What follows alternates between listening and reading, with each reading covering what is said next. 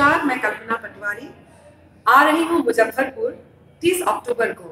अखिल भारतीय विद्यार्थी परिषद द्वारा आयोजित मिशन साहसी के फाइनल इवेंट में। आप सभी बहनें इस अभियान से जुड़े।